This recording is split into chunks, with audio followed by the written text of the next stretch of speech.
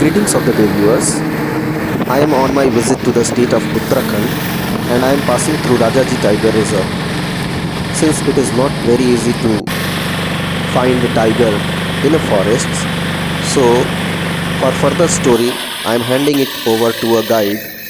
I apologize for the slow voice in initial 15 seconds.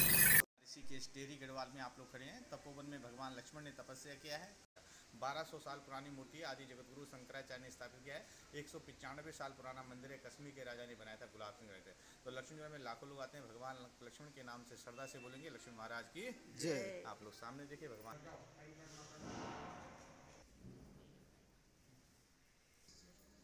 Uttarakhand state के अंदर सबसे बड़ा महादेव। उत्तराखंड में आप लोग कहीं भी घूमेंगे तो इससे बड़ा शिवलिंग आपको कहीं नहीं मिलेगा।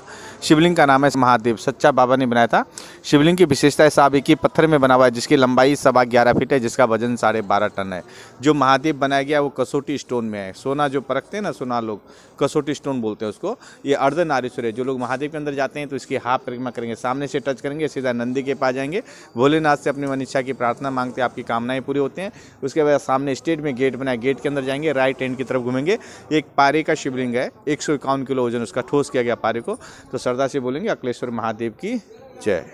बहुत प्राचीन मंदिर है। मंदिर का नाम है आदि बद्रीनाथ द्वारिकाधीश। सामने पे द्वारिका भगवान जी है और उस साइड में आप लोग दर्शन करेंगे भगवान आदि बद्री के।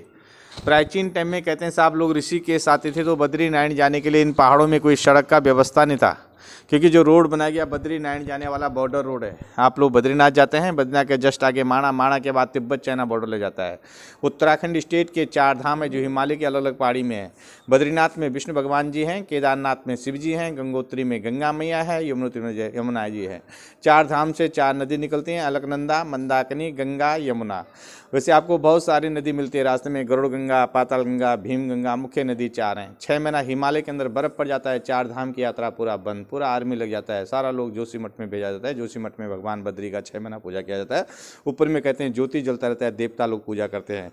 तो उस जमाने में बहुत से बुज़ुर्ग लोग पैदल यात्रा नहीं कर पाते थे। कहते हैं, यहाँ पे एक ब्रिज था, अभी तो लोहे का बन गया, पहले लकड़ी का पुल था, उसको पार करके कहते हैं इक्कीस पहाड़ी क्रॉस करके लोग यात्रा का, बड़ा कठिन यात्रा था, बहुत कम लोग अपने माता पिता को बद्रीनारायण यात्रा कराते थे, अभी क्या है, सुबह को जाते हैं, शाम को बद्रीनाथ पहुँच जाते हैं, उस जमाने में बड़ा कठिन यात्रा था, बहुत से बुज़ुर्ग लोग पैदल यात्रा नहीं कर पाते थे, ऋषिकेश आदि बद्री मंदिर से बहुत से लोग रिटर्न कर लेते थे, इसीलिए इस मंदिर का नाम है आदि बद्री, क्योंकि आप लोग नाम सुने होंगे, एक सहसर कवच नाम के राक्षस को खत्म करने के लिए विष्णु भगवान जी ने दो रूप लिया था, नर नारायण का, नर भगवान इसके अंदर हैं, नारायण जी 300 किलोमीटर आगे हैं, जो लोग इस मंदिर में श्रद्धा से माथा टेकते हैं। भगवान बद्री का आदि पुण्य आपको मिलता है। बोली बद्री, भगवान की। बैठेंगे। देखिए साहब, अभी मैं आपको झूले की हिस्ट्री बताऊँगा। मेरा नाम सुरेंद्र गैरुला है। देखिए, ऋषिकेश का जो मेन प्लेस है, वो लक्ष्मण झूला है। लक्ष्मण झूला क्यों फ़ेमस हुआ है, क्यों लोग देखने आते हैं? अभी तो बहुत कम भीड़ है, लेकिन मई, जून के महीने में यहाँ पूरा झूला को पार करने में एक घंटा लग जाता है। क्योंकि चार धाम की यात्रा खुलती है। तो प्राचीन टाइम में कहते हैं, जब लोग ऋषि के साथ तो बद्रीनाथ यात्रा करते थे सामने मणिकूट पहाड़ी से।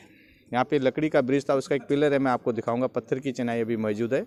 1924 की भयंकर बाढ़ के कारण कहते हैं, लकड़ी वाला जो ब्रिज था, वो बाढ़ में चला गया। बद्रीनारायण जाने का पैदल रास्ता बंद हो गया। फिर गाँव के लोगों ने कहते हैं, एक रस्सी का झूला यहाँ पर बनाया था।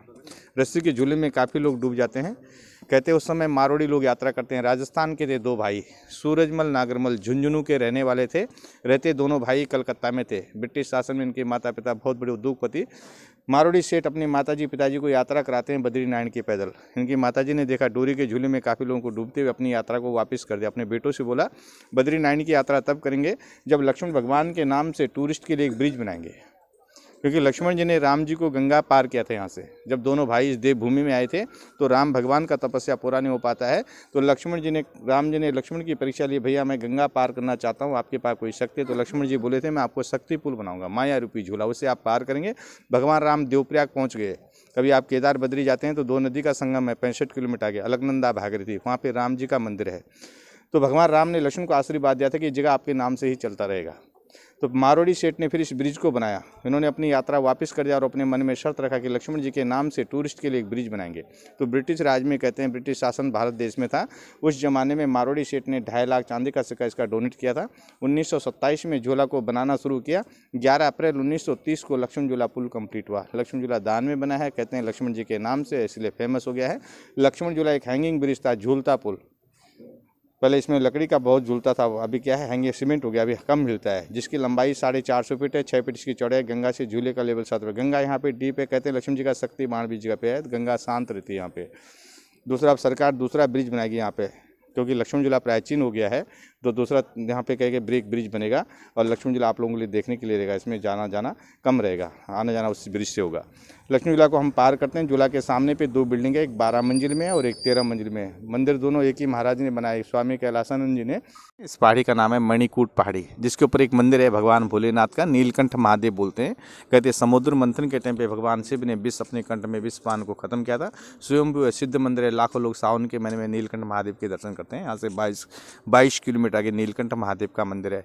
ठीक इसी सामने शिवालय, ये मणिकूट पहाड़ी है, ये शिवालय पहाड़ी है, जहाँ से लोग बद्रीनारायण की यात्रा करते हैं। ठीक सामने से गंगा नदी आती है, गंगोत्री से, गौमुख से गंगा हिमालय निकलती है, जो यहाँ से हरिद्वार हर की पौड़ी में पहुँचती है। ये लक्ष्मण झूला के नीचे में ठीक गंगा नदी है, मेन गंगा धारी है।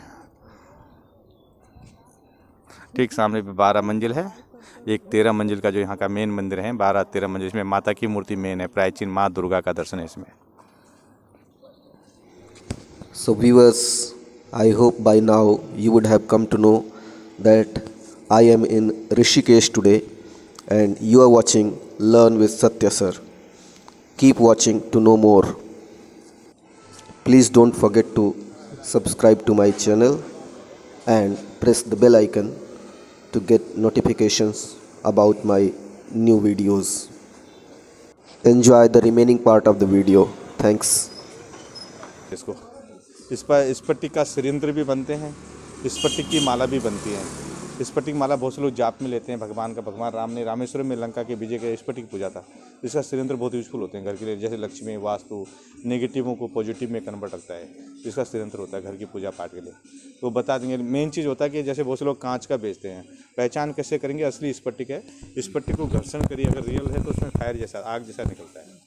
बाबा मंदिर बोलते हैं। हलारी बाबा ने साठ बरस तक कंदमूल खा के मणिकूट पर तपस्या किया था। उनका गद्दी ठीक सामने पे और उसके ऊपर में भगवान राम की मूर्ति जहाँ पे राम लक्ष्मण सीता हनुमान जी के साथ आपको यहाँ पे दर्शन होते हैं जिसका नाम है Raghunath temple In the last leg of the video, I take you to Ramapul और Rama bridge the previous one was Lakshman Jhula और Lakshman bridge this one is Ram Jhula. Under this bridge, you can see the holy river Ganges. Some people are enjoying the river rafting. You can see them closely. And with this, my journey to the Rishikesh comes to an end. Thank you for watching. Bye bye from the YouTube channel Learn with Satya Sir.